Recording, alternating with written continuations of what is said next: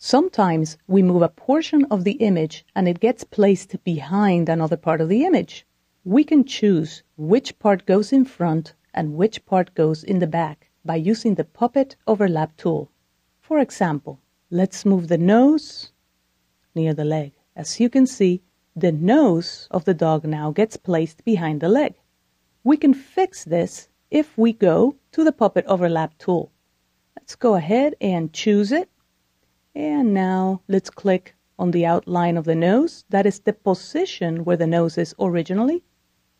And just click there. Let's show the mesh.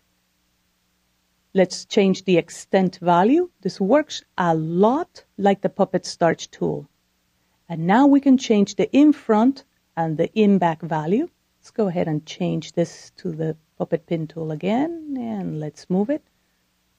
And notice that now the nose is in front of the leg. If I switch tools again to the overlap tool, let's go ahead and select it.